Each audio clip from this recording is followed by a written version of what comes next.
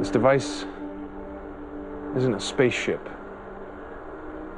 It's a time machine.